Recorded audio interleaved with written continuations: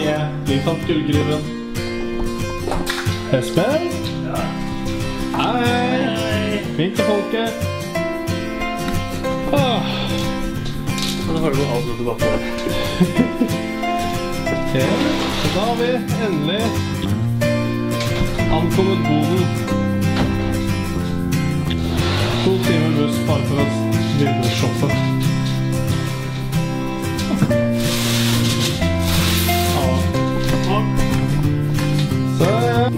Dag.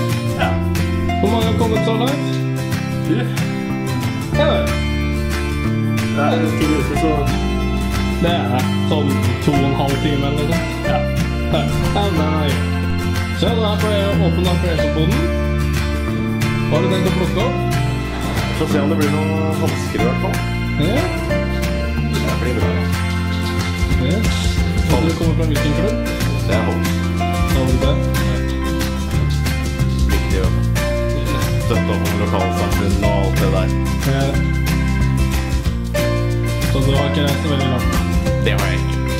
Derfor er jeg tieren for første gang. Vært her før, eller? Ja, det var det. Ja.